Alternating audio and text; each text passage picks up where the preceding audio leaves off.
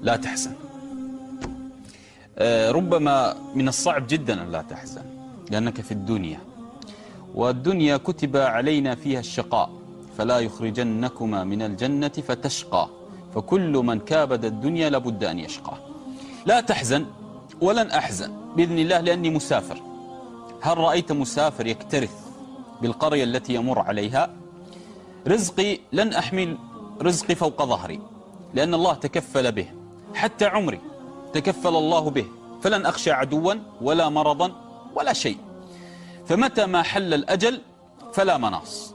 لن أحزن إذا خاصمني أحد. فنبينا آدم عليه السلام قبل نفخ الروح خاصمه إبليس وكان له عدوا فهناك من يعاديك لطبعه لا لطبعك. نوح عليه السلام صنع ما ينجي به القوم فاتخذه القوم سخريا سليمان عليه السلام حارب السحرة فاتهم فاتهمه الأعداء أنه من السحرة. محمد عليه الصلاة والسلام جاء لتوحيد القلوب فاتهمه القوم بالتحريض وتفريق القلوب. هكذا بعض الناس يتهمونك بالذي أنت تحاربه. فلن أحزن إذا خاصمني أحد لأن الأيام تجري. فمن أحبني فيومي يجري بدونه. ومن كرهني لن يغير في يومي شيئا. لن أحزن إذا وقعت لا قدر الله في فقر. فإني لن أموت حتى أستوفي رزقي. فالنبي عليه الصلاة والسلام قال الرزق أشد طلبا للعبد من أجله. فلماذا أحزن على الرزق؟ لن أحزن لأني رأيت كل الدواب التي لا تعقل لا تحمل رزقها فوق ظهرها. وما من دابة في الأرض إلا على الله رزقها. فلماذا أجعل الرزق الذي تكفل الله به أكبر همومي؟ كنت في رحم أمي. الله أطعمني وأسقاني. حتى أمي التي أنا كنت في أحشائها لا تملك رزقي. لن أحزن على الرزق أبدا. وقد أخرجت للدنيا لا أعلم شيئا. وهداني الله للنجدين والنطق والمشي. فلماذا أحزن على رزقي؟ ونبينا عليه الصلاة والسلام. خرج من بيته جائعا لن أحزن بإذن الله. لن أحزن على مرض. وإذا مرضت فهو يشفين. فلن أحزن على مرض. فإن الله نسب الأمراض لنا والشفاء له. فإن أصابني مرض أعلم أن الشافي هو الله.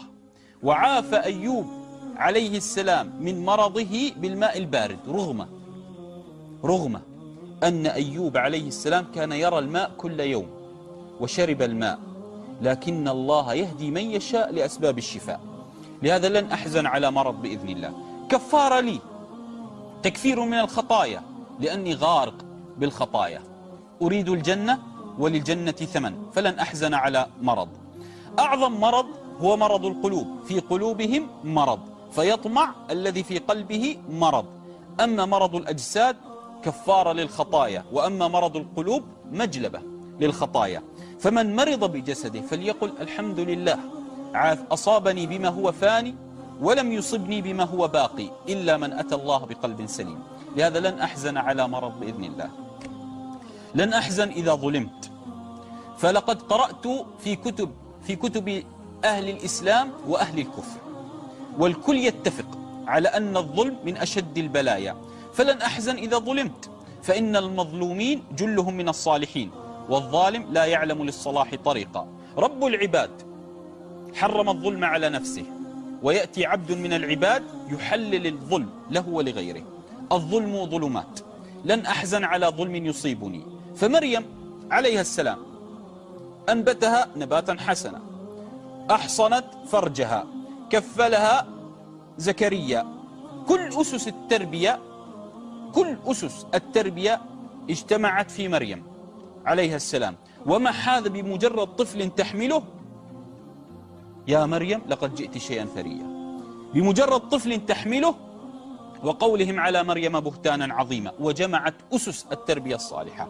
فالصالح هو صالح لنفسه ولذاته ولمجتمعه إلا أن المجتمع بيت من زجاج. بمجرد أن يأتي رجل مجهول يقذف ويرمي عليك حجرا على سمعتك على أخلاقك. في مجتمعك ينهار ينهار عليك زجاج المجتمع ويقطعك إلى أشلاء. لهذا لا تحزن على ظلم يقع عليك. فإن الله توعد بنصر المظلوم وأقسم بذاته العلية وعزتي وجلالي لأنصرنك ولو بعد حين. وجعل للمظلوم دعوة مستجابة وسهام لا تخطئ ونصر قريب. فلماذا الحزن؟ لهذا لن أحزن إذا رأيت إذا رأيت الظالم يرتع. لأني سمعت النبي عليه الصلاة والسلام يقول إن الله لا يملي للظالم حتى إذا أخذه لم يفلته فأعلم أن الظالم له أيام ومعدودة. لن أحزن لتربص الحساد ولا تحزن لتربص الحساد. فالحاسد ناقم يرى كل نعمة عليك ثوبا من النار على قلبه. ونار الحاسد تشتعل بقلبه قبل أن تصل إليك.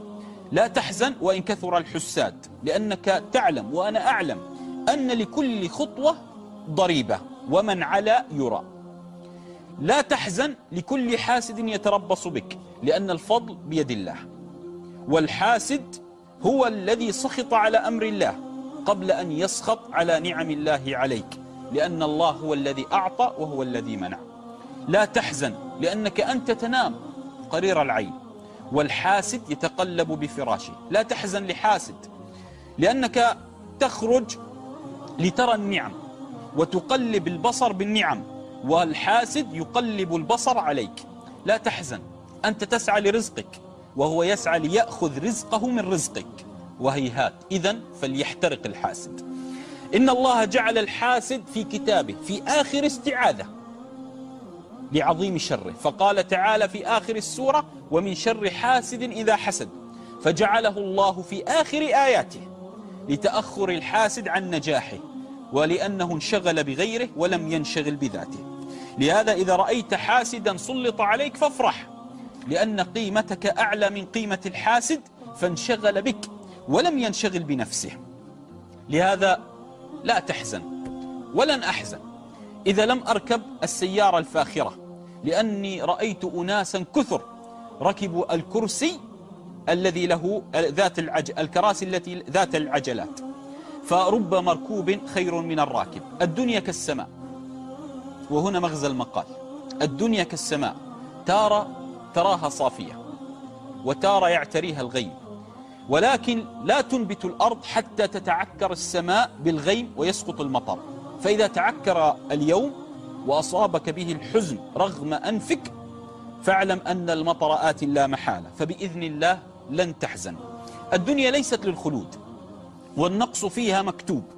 وكل يدعي الكمال ولم ولو كمل بشر لما ماتوا. الدنيا ليست لنا. ألا ترى أنها العدو الأعظم؟ ترمينا بالأوجاع والأسقام والآفات وفقدان الأحبة والأحزان ونتعلق بها. سأهدي لك وصفة سحرية لي ولك بإذن الله. حتى لا تحزن ولا أحزن. لا تجعل للدنيا قيمة. ألا ترى أن كل شيء نجعل له قيمة نحزن عليه؟ من منا وقع في الحزن على عود كبريت فقده؟ من منا حزن على درهم ضاع منه؟ ما ليس له قيمة في القلب لا يحزن عليه القلب. إن الحزن يعترينا بسبب اهتمامنا بأشياء فانية بسبب تعلقنا. نحصر السعادة بكل شيء. لهذا حتى لا تحزن لا تجعل لشيء من أمور الدنيا لها قيمة. نحن للأسف وأنا معكم نحز نحز نحزن ويصيبنا الحزن على فقدان متاع الدنيا أكثر من فقدان الحسنات. إن العدو إن العدو لا يطمع بأرضك. إلا إذا رأى فيها منفعة. والشيطان لا يطمع بقلبك إلا إذا رأى فيه منفعة لآخرتك. الشيطان والدنيا لا يطمعان بالقلب الخرب بل يتسلطان على القلب العامر بأمور الآخرة. من كانت همته الآخرة لا يحزن على شيء من الدنيا. لهذا لا تحزن. ولو خالفك أهل الأرض نوح عليه السلام رفض ابنه الركوب معه. ولوط عليه السلام زوجته رفضت دعوته. فربما يعاديك أقرب الناس إليك. فلا تبالغ بحبك لأحد. فلا تبالغ بحبك لأحد. فإن صفعة الخذلان تأتي بلا مقدمات. أعظم ما يخذلك في الدنيا هو الدنيا. كم من رجل تعلق بماله فهلك بسببه. وآخر تعلق بملكه فانقلب ضده. وآخر تعلق بابنه فابتلي بعقوقه. الدنيا هكذا. فحتى لا تحزن انظر أمامك. لا تلتفت على جانبي الطريق. اجعل لك هدفا أريد الجنة. واعلم وهنا احفظها مني لي ولك. واعلم أن أكثر الناس نجاحا هو الأصم لأنه لا يستمع لنقد البشر. فلا تحزن فرزقك لن يسرق منك وعمرك لن يقدر عليه أحد. وتذكر واحفظ مني ثلاثة. في الدنيا لا سلام من الناس. لا سلام من الناس. ولا راحة في الدنيا ولا نجاة من الموت. لهذا لا تحزن.